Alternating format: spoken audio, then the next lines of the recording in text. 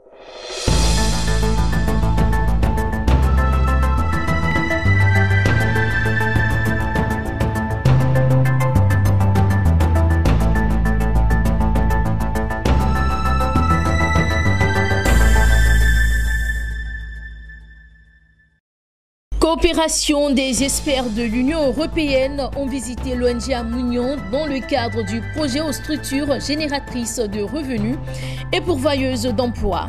Li Yong, directeur général de l'ONUDI, l'Organisation des Nations Unies pour le développement industriel, en visite à la Confédération générale des entreprises de Côte d'Ivoire, un accord de partenariat signé. Les détails tout de suite dans cette édition.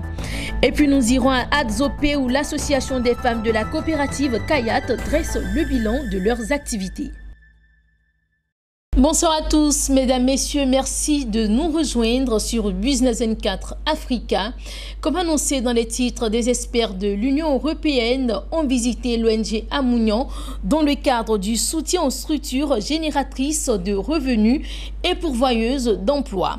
Objet de cette visite, s'imprégner des projets de développement afin d'aider les coopératives à réaliser leur plan d'activité. Le reportage est signé Lucien Bokoa et Eliane Kwasi.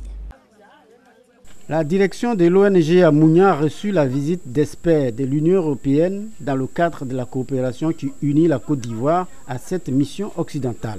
Ce rendez-vous d'échange avec les acteurs de l'ONG à est le résultat d'une requête auprès de la Direction générale de l'emploi et de la protection sociale.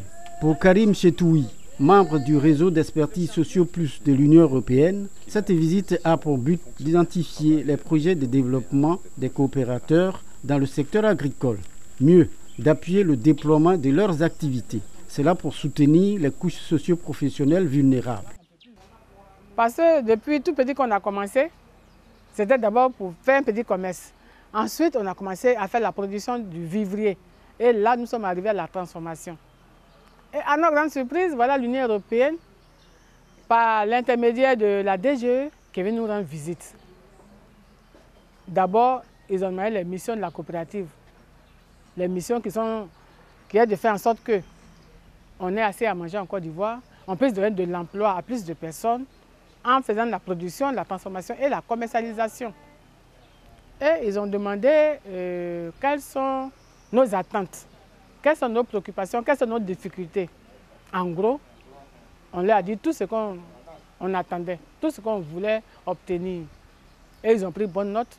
Par exemple, avoir un fonds de roulement, avoir des machines plus performantes, avoir un matériel roulant et un site à nous où on peut faire notre petite unité. Parce que là, nous sommes sur un site de location. L'ONG Amounian existe depuis 2007 et est représentée dans plusieurs régions de la Côte d'Ivoire. Elle se spécialise dans la production, la transformation et la commercialisation de semoules de manioc et de ses dérivés. Une petite unité de transformation des manioc a vu le jour à Bengeville dans le cadre des structures génératrices d'emplois jeunes et de l'autonomisation des femmes. Li Yong, le directeur général de l'ONUDI, l'Organisation des Nations Unies pour le développement industriel, a rencontré le secteur privé ivoirien à Abidjan. Au cœur des échanges, les programmes pour l'accélération du développement industriel inclusif et durable en Côte d'Ivoire. Une vision de l'ONUDI qu'est venue partager Li Yong avec le secteur privé ivoirien représenté entre autres par la Chambre de commerce et de l'industrie de Côte d'Ivoire ainsi que la Confédération générale des entreprises de Côte d'Ivoire. C'est ci le reportage signé Mon Désir Nascimento et Lignon Gilbert. La Confédération générale des entreprises de Côte d'Ivoire, CGECI, a reçu à la maison de l'entreprise d'Abidjan Plateau le directeur général de l'Organisation des Nations Unies pour le développement industriel ONUDI. L'hôte du secteur privé est venu apporter le soutien de son institution aux hommes d'affaires ivoiriens avec en main un accord cadre de partenariat.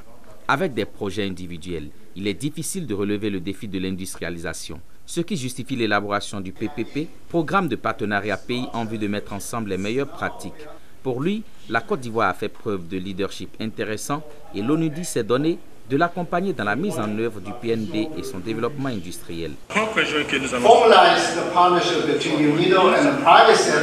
L'occasion a été pour le président de la CGC Jean-Marie Aka, de relever les problèmes structurels de compétitivité auxquels est confronté le secteur privé de Côte d'Ivoire. Selon lui, ces difficultés sont liées notamment au coût de facteurs de production dont l'énergie, l'eau, les intrants importés ainsi qu'au manque de performance logistique. À cela s'ajoute la faible disponibilité d'une main-d'œuvre qualifiée et directement productive. De plus, l'accès aux fonciers industriels demeure une problématique, notamment pour les petites et moyennes industries. La lourdeur administrative, la pression fiscale difficilement soutenable et pas toujours en cohérence avec la volonté stratégique de développement industriel, à une réglementation parfois trop contraignante, sans oublier les difficultés d'accès aux marchés régionaux et internationaux. Autant de causes qui empêche l'industrie en Côte d'Ivoire de prendre son envol. S'inscrivant pleinement dans sa logique d'accompagnement du développement économique de notre nation, la CGECI a l'année dernière apporté sa contribution à la recherche de solutions à toutes ces difficultés à travers notamment son forum annuel CGECI Academy dont le thème était Cap sur l'industrialisation un défi pour tous. Le ministre Souleymane Diarra a salué cette opportunité pour la Côte d'Ivoire, une opportunité pour mobiliser davantage de partenaires techniques et financiers afin de donner un coup d'accélérateur au développement industriel de manière inclusive et durable. La mobilisation des ressources conséquentes et suffisantes constitue un enjeu majeur pour la transformation de l'Afrique. Au terme de cette rencontre qui a porté sur les programmes pour l'accélération du développement industriel inclusif et durable de la Côte d'Ivoire, une déclaration d'intention conjointe a été signée par le président de la CGC et le directeur général de l'ONUDI. On parle de célébration du mérite. L'Union patronale de l'enseignement supérieur privé a organisé la première édition de la Nuit du mérite. Une occasion pour cette fêtière de promouvoir l'excellence à cette nuit de mérite. Les fondateurs pionniers des établissements supérieurs privés de Côte d'Ivoire, les collaborateurs les plus méritants ainsi que les meilleurs étudiants et autres partenaires ont été honorés.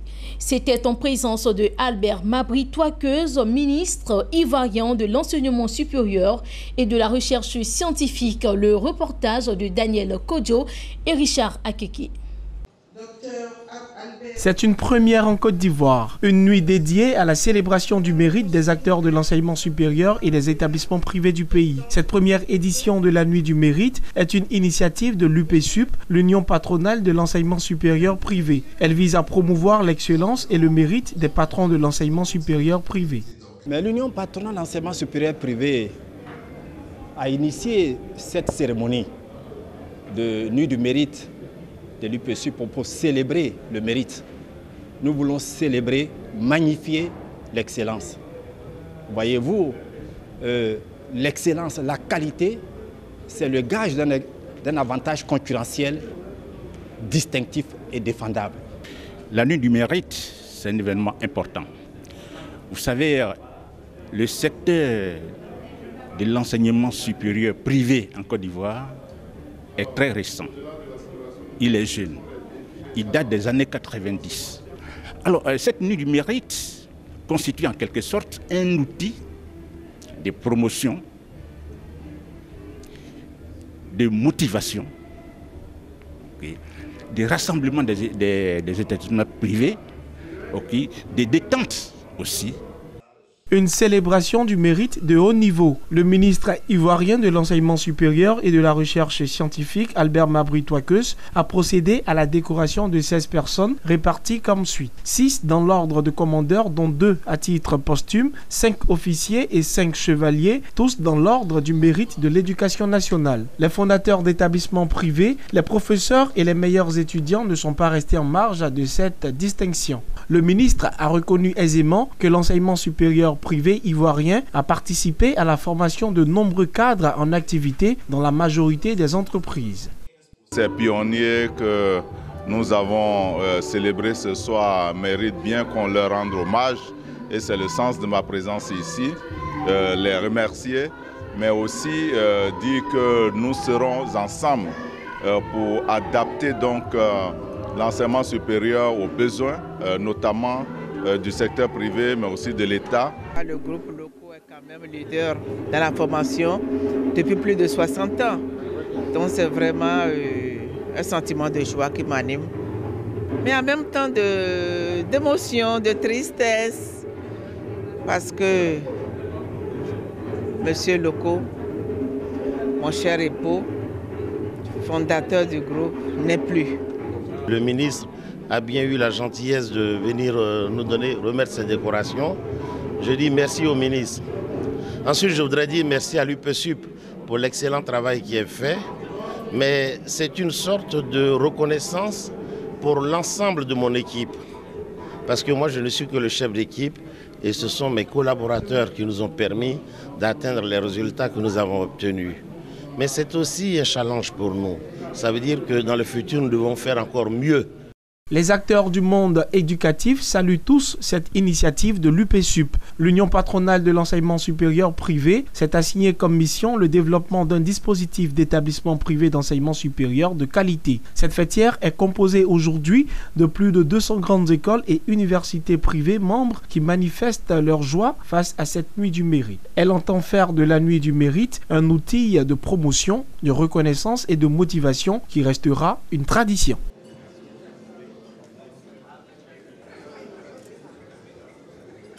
C'est un acte de reddition auquel l'AFC, l'association des femmes de la coopérative Kayat, a voulu se conformer. Cette organisation a justement tenu une assemblée générale ordinaire récemment à Adzopé. Au cours de cette rencontre, le bureau exécutif de l'AFC a dressé le bilan d'une gouvernance de 18 mois.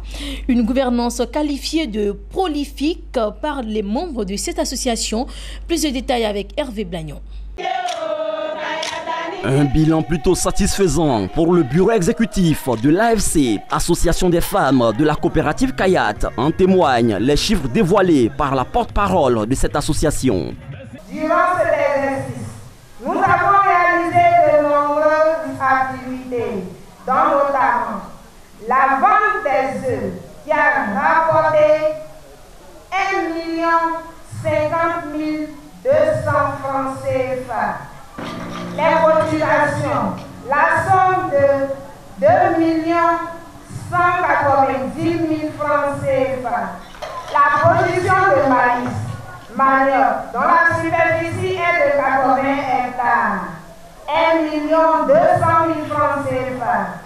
Ces résultats sont le fruit d'intenses activités menées par l'AFC avec pour leitmotiv la rigueur et la fermeté. Des femmes ont justement crevé l'abcès. Elles témoignent de leur transformation. Grâce à Kayak, aujourd'hui, je suis dame internationale. J'ai reçu des formations à la NADER, d'entrepreneuriat.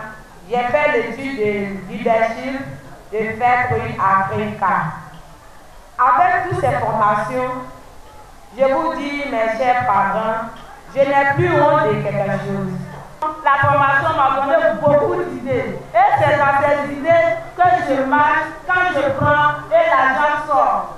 Aujourd'hui, si j'ai pu donner un 20 000 francs à ma vie de faire de son commerce, c'est grâce à l'association et à la vente des œufs. Les performances de l'équipe dirigeante de l'AFC ont été saluées par le président du conseil d'administration et la directrice générale de la coopérative Kayat. Pour Bamba Hawa, DG de Kayat, ce tableau reluisant ne doit pas pour autant cacher les défis à relever par l'AFC, d'où son invitation.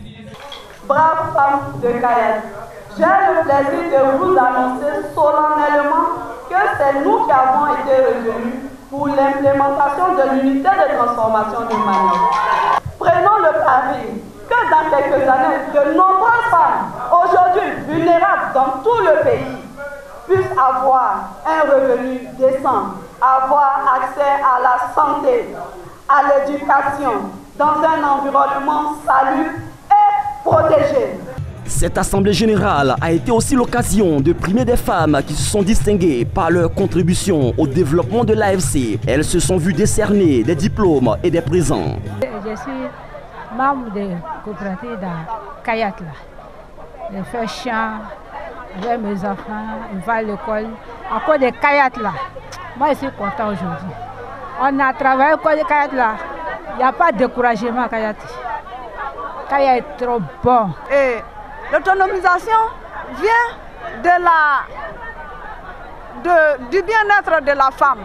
Et si toutes ces femmes qui sont là sont couvertes de tous les projets qui peuvent leur rapporter des revenus, c'est vraiment euh, chose, un avenir meilleur ces travaux d'Azopé ont enregistré la participation d'autorités administratives, politiques et coutumières de la vie d'Azopé, ainsi que de partenaires de la coopérative Kayat. Ils ont été placés sous le parrainage du maire de Yakassé à. Tous ont salué la croissance de cette association et sa contribution à la lutte contre la pauvreté. Ces femmes représentent un exemple, un exemple à suivre et que le bilan a été présenté et on se rend compte que les femmes ont travaillé aussi bien au niveau de la production végétale, mais aussi au niveau de l'élevage.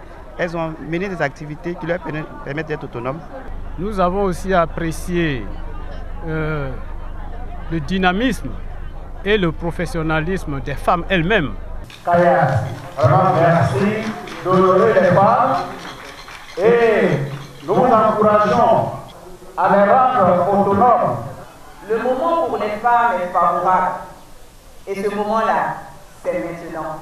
L'association des femmes de Kayat a été fondée en 2015. Elle a pour vocation de promouvoir le genre et l'autonomisation des femmes. 500 femmes y sont membres à ce jour.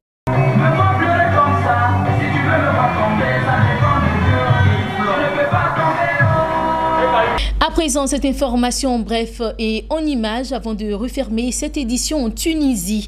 La huitième édition du Forum des affaires sino-arabes débutera le 2 avril prochain. Ce forum est un outil essentiel pour renforcer la coopération économique sino-arabe au niveau gouvernemental et privé. Le Forum des affaires sino-arabes se concentrera sur des thèmes d'intérêt commun, notamment la diversification des relations économiques sino-arabes, des opportunités et le climat des affaires en Tunisie, ainsi que les moyens de renforcer la coopération dans le domaine de financement et de l'investissement entre les pays arabes et la Chine. Voilà donc qui met fin à cette édition. Merci à vous, mesdames, messieurs, de nous avoir suivis. À très bientôt.